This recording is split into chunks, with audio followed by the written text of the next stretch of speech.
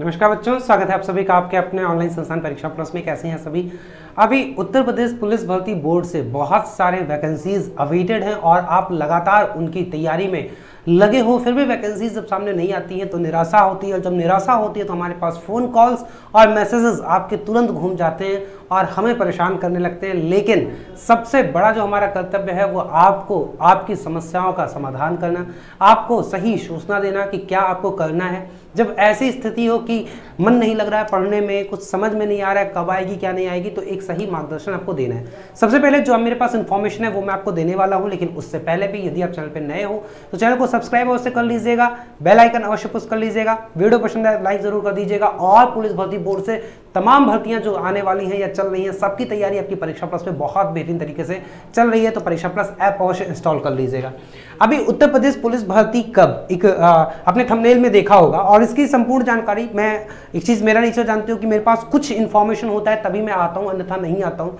और लगातार बच्चे कंप्यूटर ऑपरेटर वाले और कांस्टेबल वाले पूछ रहे थे, खासकर और रेडियो ऑपरेटर वाले भी, कि सर एक तो रेडियो ऑपरेटर का कहना है कि एक तो इन्होंने आहर्ता को लेके बहुत सारी चीज़ें कर दी और जो अभी कल परसों में एक आया शासनादेश, उसको लेके बच्चे और भी परेशान हो गए कि फिर जब इसके समकक्ष के लिखा हुआ है तो वहाँ पे भर्ती बोर्ड देगा कि नहीं देगा?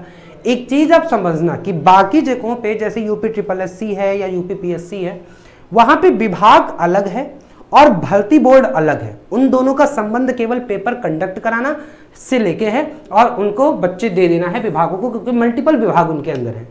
पुलिस भर्ती बोर्ड क्या है? पुलिस भर्ती बोर्ड खुद भी, खुद ही एक विभाग है और खुद ही एक क्या है? आयोग है। इस बात को समझते हुए चलेगा उसका केवल एक अंग है। तो ये इस कारण से यहाँ पे जो थोड़ी सी पॉलिटिक्स उसे बोल लो या यहाँ पे इनके कार्य करने का तरीका बोल लो, सब कुछ बदल जाता है। अभी हाल फ़िलहाल में लगातार पुलिस भर्ती बोर्ड कई चीज़ों में फंसी हुई थी, किसमें फंसी हुई थी उसको भी मैं बता दूँ कि कुछ तो जो बच्चे प्रीवियसली सेलेक्टेड हुए थे तो मुख्यमंत्री जी उनको नियुक्ति आदेश आवंटित कर रहे थे। उनमें पूरा का पूरा भर्ती बोर्ड फंसा हुआ था।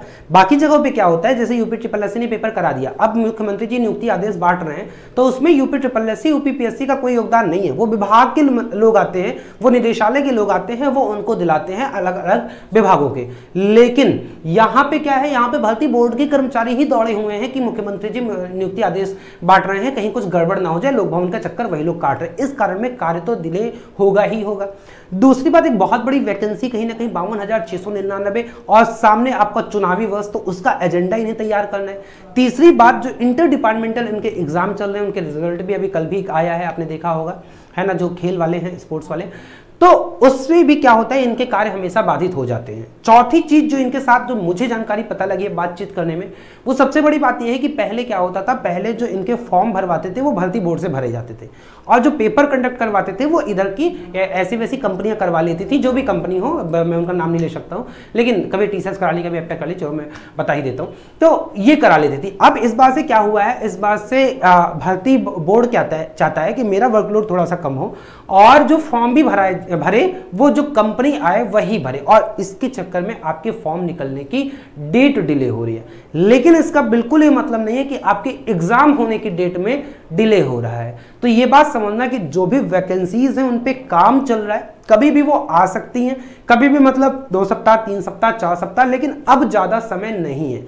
दो भर्तियों पे कार्य सबसे ज़्यादा चल रहा है, एक आपका उत्तर प्रदेश कांस्टेबल और कंप्यूटर ऑपरेटर। तो ये दोनों वैकेंसीज एक साथ आएँगी और इनकी, हो सकता है निविदा अब वेबसाइट पे आपको न दिखाई पड़े। अगर भर्ती बोर्ड में जैसी बात चल रही है तो डायरेक्ट ही ये क्या कर देंगे, अंदर ही अंदर कंपनी लेंगे अब और उसके बाद क्या कर देंगे, ये सीधा नोटिफिकेशन भी जारी कर देंगे कि फॉर्म भरा जाएगा।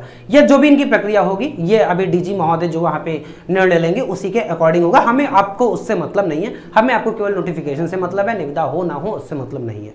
क्लियर है? निविदा तो ये दो साल से करा रहे हैं बट कुछ नहीं करा पा रहे तो सबसे पहली बात कंप्यूटर ऑपरेटर कब आएगा?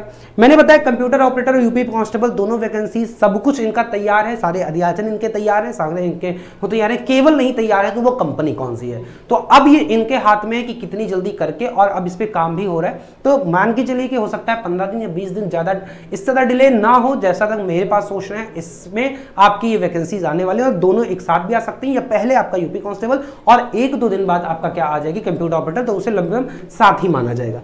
तीसरी बात है कि रेडियो ऑपरेटर एग्ज़ाम डेट कब होगा? अब एक चीज़ समझना कि रेडियो ऑपरेटर की बात करें या फिर कांस्टेबल की बात करें या फिर कंप्यूटर ऑपरेटर की बात करें, एग्ज़ाम तीनों के लगभग बहुत ज़्यादा गैप नहीं होगा और सबसे पहले जो पेपर होगा वो रेडियो ऑपरेटर का ही पेपर होगा। सबसे पहले जो पेपर होगा। कारण भी इसका है 2022 में इसका फॉर्म सबमिट करा लिया गया था, अभी तक हुआ नहीं है और इसका कारण भी यही है कि अगले वर्ष चुनावी वर्ष है और दूसरी बात, इनके पास कंपनी कहीं ना कहीं मिली भी नहीं थी, जो मेरे पास जानकारी है।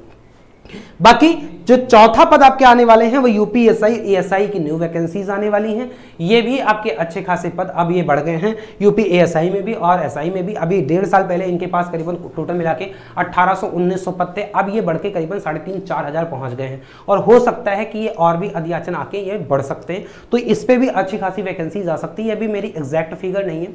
जो एक अनुमान है, उसके बिहार पर मैं यूपीएसआई एएसआई की बात कर रहा हूँ। लेकिन पद इसमें भी, और खासकर इस बार एएसआई में स्टेनो वालों का पद ज़्यादा आ रहा है, ये पक्की खबर है, ये मैं आपको बता रहा हूँ। तो स्टेनो वाले इसके लिए तैयार है ना? दोबारा से। अब सबसे बड़ी बात है कि जो बच्चे तैयारी कर रहे हैं, देख, डेढ़ साल से तैयारी कर रहे हैं, अब वो क्या करें, पढ़ लिए, पढ़ने में मन नहीं लग रहा है, और बहुत सारे बच्चे ऐसे हैं फ्रेशर भी हैं। देखो रेडियो ऑपरेटर की तो मैं बात इतना बोलूँगा कि अब आपको जितना है वो प्रैक्टिस करना है। आप में जो सबसे इंपॉर्टेंट चीज़ें हैं वो है साइंस तो साइंस के लिए, आपके लिए आठ पी पे स्पेशली क्लास इसीलिए लेके आया गया है, और वो क्लास आप क्या कर सकते हो, देख सकते हो, आठ पी पे आपको निःशुल्क क्लास परीक्षा प्लस यूट्यूब चैनल पर ही दिया जा रहा है। और ये कॉन्सेप्ट प्लस एमसीक्यू ये आपकी क्लासेस ऐसे हैं कि आपको एनसीईआरटी के माध्यम से और प्रीवियसली जो पूछे गए क्वेश्चन उनके आधार पे पूरी की पूरी क्लास डिज़ाइन की गई है। तो बहुत बेहतरीन क्लास है, आप उसे ज़रूर किया करो, उससे लाभ आपको बहुत होगा उसकी पीडीएफ आप एक बार पढ़ लिया करो। कंप्यूटर ऑपरेटर वाले बच्चे ऐप पे आपका कोर्स चल रहा है। एक बार जब नया आएगा, तब मैं आपको इतना सूचित कर दूँ बहुत सारे बच्चे बोल रहे थे, सर, केवल कंप्यूटर का कर दो कंप्यूटर का कोर्स निकाल दो। तो अभी तो कंप्यूटर का नहीं निकलेगा, लेकिन एक बार जब वैकेंसी आ जाएगी, तब हम पेयर टीम के साथ विचार कर सकते हैं कि ऐसे बच्चे जो केवल कंप्यूटर चाहते हैं, उनको कंप्यूटर दे दिया जाएगा। कांस्टेबल भर्ती के लिए पूरा का कंप्लीट डेडिकेटेड बैच कांस्टेबल 2.0 चला दिया गया है, आप वहाँ से जुड़ सकते हो। और जो बच्चे ऑलरेडी पहले से तैयारी कर रहे हैं, वो शाम के सात बजे डेली बेसिस पे कांस्टेबल की स्पेशल क्लास चलती है। आप उन क्लास को ज्वाइन कर सकते हो और अच्छे से अपनी तैयारी को प्रैक्टिस मॉड्यूल पे आगे भी बढ़ा सकते हो। बाकी यूपीएसआई एएसआई का एक पुराना बैच कंप्लीट हो चुका है, जो नया बैच आएगा, वो भी आपको उसके बारे में सूचित किया जाएगा। तो मेरे पास इतनी जानकारी थी, उम्मीद है बहुत आपके अंदर जो आपको की स्थिति थी, उसको शांत किया होगा। बस आप इतना समझो कि आपको पढ़ते रहना और पंद्रह बीस दिन में आपके पास कुछ ना कुछ देखने को मिल जाएगा, फिर आपके पास समय नहीं मिलेगा, ये भी समझना।